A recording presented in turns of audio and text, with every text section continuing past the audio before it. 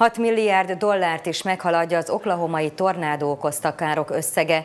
Az utólag a legmagasabb ötös kategóriába sorolt szélvihar 24 ember életét követelte, köztük 8 gyermekét.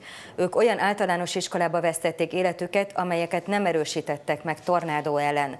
Az ítéletidő még nem ért véget az Egyesült Államokban. A forgószelek által fenyegetett területen legalább 55 millió ember él. Kétségbe sikoltozó gyerekek láthatók ezen a felvételen, amely percekkel azt követően készült, hogy a pusztító oklahomai tornádó földig rombolta az iskolájukat.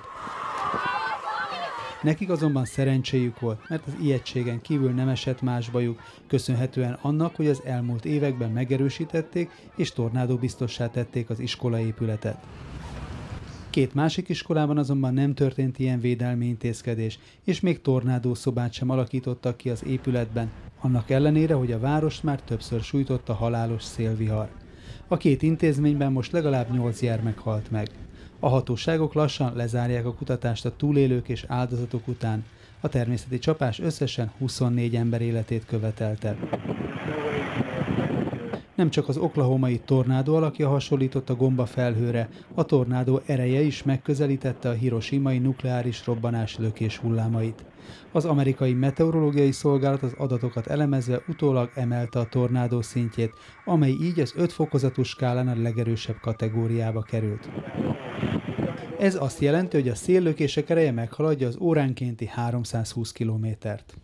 A rendkívüli erejű vihar nyomán még a 100 kilométerre található Tulsa városában is találtak törmeléket, amelyeket az oklahomai településről sodort magával a tornádó. A károk meghaladják a 6 milliárd dollárt, ami többszöröse az ugyanebben a városban 14 éve pusztító tornádónak. A túlélők most szembesülnek azzal, hogy milyen pusztítást okozott a településen a vihar. A megrendült lakók a jövőtől várják a reményt. It's, it's hard. Nagyon nehéz, de bízunk abban, hogy Isten gondoskodik rólunk a jövőben, mert most semmink nem maradt, mondja ez az asszony, aki mindenét elveszítette a viharban. Az Egyesült Államokban egyébként tegnap tíz államban vonult át forgószél, a nagy tavak vidékétől egészen a déli Texasig.